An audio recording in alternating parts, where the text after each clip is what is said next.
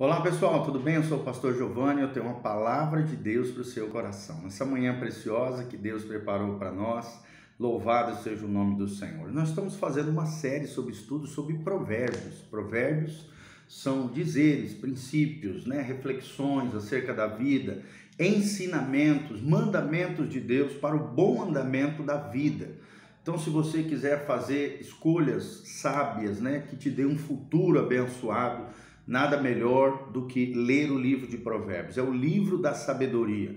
É o livro que tem setecentos e poucos provérbios com ensinamentos acerca de todos os assuntos que você pode imaginar da vida, existem nos provérbios. E nós podemos aprender coisas valiosas através da palavra de Deus. Provérbios 2, 7 a Bíblia diz que Deus reserva a verdadeira sabedoria para os retos, aqueles que caminham na retidão, e escudo é para os que caminham na sinceridade. Então, Deus promete derramar sabedoria sobre nós, não a sabedoria humana que promove a vanglória, né, que tenta vomitar o seu conhecimento sobre outros, que às vezes inferioriza, maltrata, desfaz do outro, mas sim a sabedoria do alto que é humilde, que é quebrantada, que reconhece que toda bênção e todo verdadeiro entendimento valioso para o dia a dia, conhecimento de Deus, aplicado no nosso dia a dia, olhar a vida com as lentes de Deus, promovem a glória de Deus através dos seres humanos. É essa sabedoria que Deus promete para quem andar em retidão. Ele é escudo para aqueles que caminham na sinceridade. Versículo 8, o texto sagrado, continuando, diz: Para que guardem as veredas do juízo, ele preservará o caminho dos seus santos. Caminhos aqui são é, trajetos que nós trilhamos na nossa vida. Caminhos também muitas vezes têm um significado de escolhas. Os caminhos são feitos através de escolhas. E caminhos, ele preservará, ou seja, o próprio Deus preservará eu e você diante das nossas escolhas. Se agimos com a sabedoria de Deus, se guardarmos as veredas, ou seja, os caminhos do juízo, do bom senso, da prudência. Se você aplicar a sabedoria de Deus nos seus juízos, nas suas sentenças, nas suas escolhas, discernindo as coisas, compreendendo as coisas do ponto de vista de Deus, você será guardado, você será preservado no caminho dos santos. Santos aqui não no sentido de time de futebol, muito menos de perfeição de uma pessoa santarrona, plenamente santo. Isso é missão impossível para nós pecadores, mas sim santos no sentido daqueles que querem se aperfeiçoar, aqueles que querem cada dia mais ser a semelhança daquele que é santo e perfeito, Jesus de Nazaré daqueles que se consagram a Deus, daqueles que dizem não ao pecado, daqueles que caminham no temor do Senhor. Esse é o caminho dos santos, daquilo que é ético, daquilo que é moral, daquilo que é correto do ponto de vista de Deus, segundo os princípios e valores do reino de Deus. Aí entra o versículo 9: Então entenderás a justiça, o juízo, a equidade e todas as boas veredas. Juízo justiça e equidade. Justiça fala da aplicação desses princípios no nosso dia a dia, colocando em prática, vivendo a vida que Deus criou para nós vivermos. A vida correta, a vida que não faz acepção de pessoas.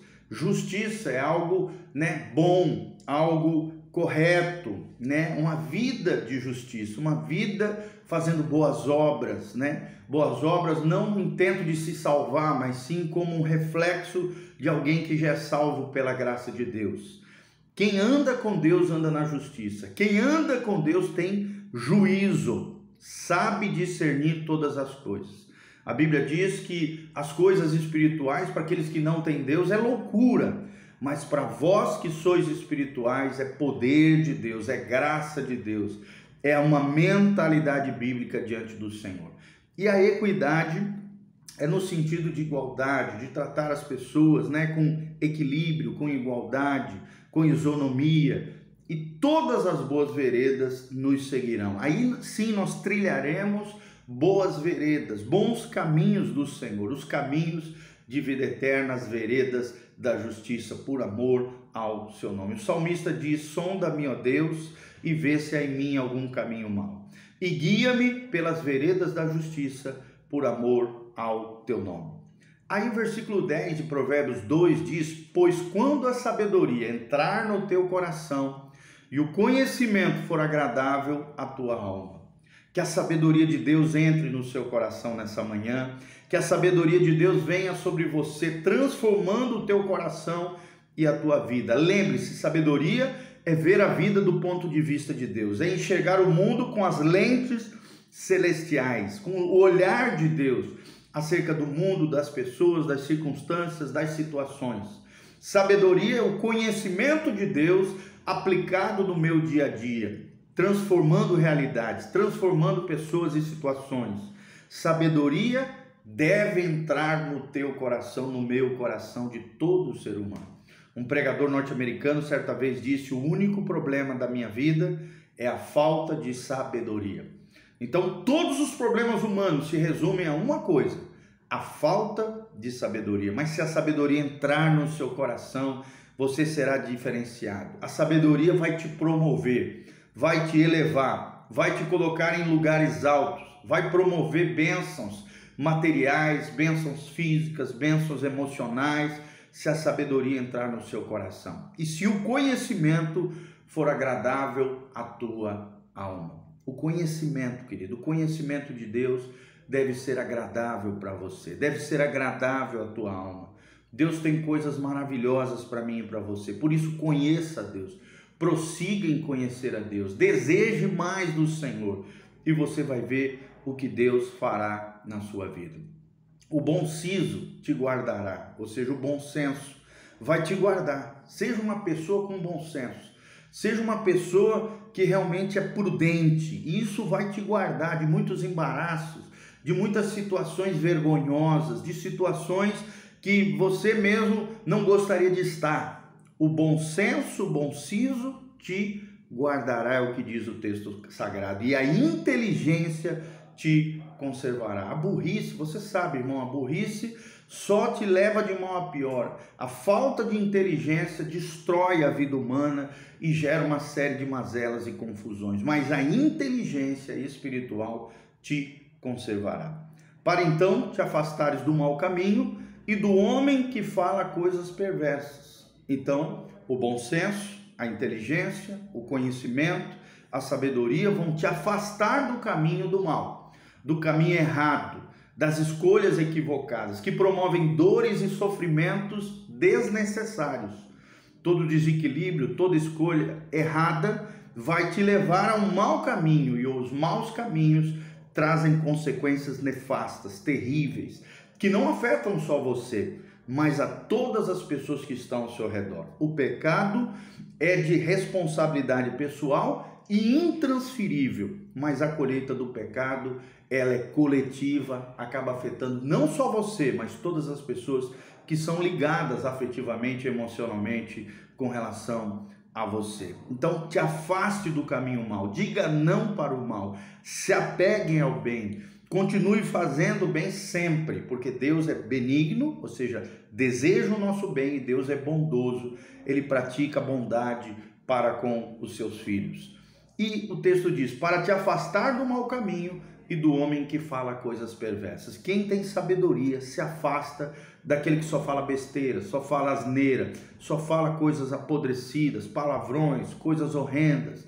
Se afaste daquele que tenta te influenciar negativamente, daquele que tenta te derrubar do caminho de salvação, daquele que é uma pedra de tropeço para a tua vida. O homem que fala coisas perversas. Tome cuidado, você que é mulher, tem muito homem malicioso, tem um, muito homem com o coração corrompido, perverso, que de alguma maneira tenta te tirar da posição de consagração e de dedicação ao Senhor, de santificação, de vida piedosa diante de Deus. E isso às vezes acabam se infiltrando até nas nossas comunidades, nas nossas igrejas. Pessoas nefastas, pessoas apodrecidas, com o coração tomado pelo mal, homens que falam coisas perversas a fim de se derrubarem e derrubarem outras pessoas. E olha só o que a Bíblia diz: se afaste daqueles que deixam as veredas da retidão. Que veredas são essas? As escolhas retas, as escolhas boas. Se afaste daqueles que deixem, deixam o caminho de, da vida eterna, o caminho de Deus, no sentido de que todo aquele que vai em contra a sua vida, todo aquele que vai em contra os caminhos de retidão, se afaste desses que não querem, não têm compromisso com Deus e tentam te influenciar negativamente. É claro que nós vamos ter colegas, amigos, pessoas ao nosso redor que não conhecem Jesus, que ainda não temem a Deus. Mas se eles estiverem intentando contra você, se eles estiverem de alguma maneira tentando destruir a sua fé, te influenciar para o mal, se afaste deles, é o que diz o texto sagrado. Das pessoas que falam coisas perversas, daqueles que tentam andam pelos caminhos escusos, ou seja, pelas escolhas sujas, poluídas, nefastas, terríveis, perniciosas. Se afaste daqueles que andam por esses caminhos perversos. Como dizia aquele ditado antigo: diga-me com quem andas e te direi quem és. O apóstolo Paulo pega um, um dizer antigo dos filósofos gregos e diz: as más conversações corrompem os bons costumes.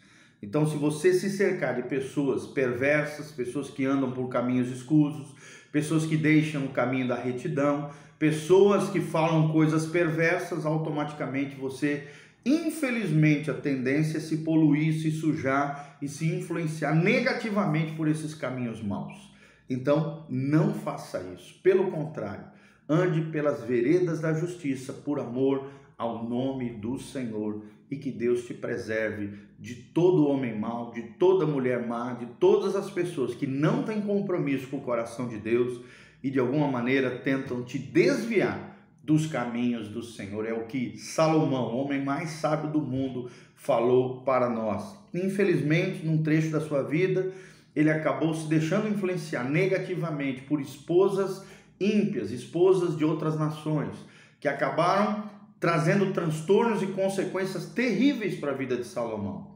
Mas aparentemente o que nós vemos no livro de Eclesiastes, talvez ao final da sua vida, o que nós percebemos, é o que se percebe no texto bíblico, parece que ele caiu em si e se voltou novamente ao Senhor. Então, não, você não tem que passar por dor e sofrimento desnecessário. É, é, dor e sofrimento por escolhas erradas. Não faça isso. Não escolha aquilo que é errado. Escolha aquilo que é bom, aquilo que é correto e siga o caminho da fé, o caminho da palavra de Deus, o caminho das veredas da justiça por amor ao nome do Senhor. Tá bom? Que Deus abençoe a sua vida, sua casa, sua família, que essa palavra penetre no seu coração, transformando a tua realidade, trazendo uma resposta de Deus para as escolhas, para os caminhos que a vida te impor. Sempre se coloque do lado do Senhor.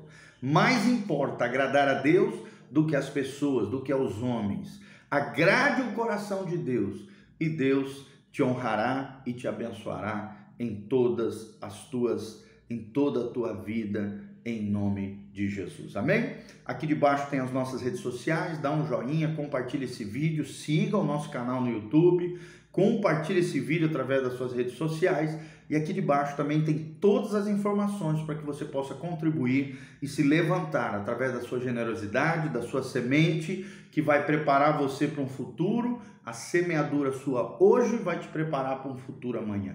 Semeie no reino de Deus, na casa do Senhor, nesse ministério pastoral e você vai ver o que Deus fará através da sua vida. Que Deus te abençoe em nome de Jesus é o mais profundo desejo do coração do pastor Giovanni, que a graça e a paz do Senhor venha sobre você e que os provérbios de Deus se encarnem no seu dia a dia, na sua vida, para que você tenha uma vida abençoada, guardada, abundante, próspera do ponto de vista de Deus, em nome de Jesus. Amém. Amém? Não se esqueça, nesse domingo, às 9 horas da manhã e às 19 horas, culto na igreja Casa na Rocha.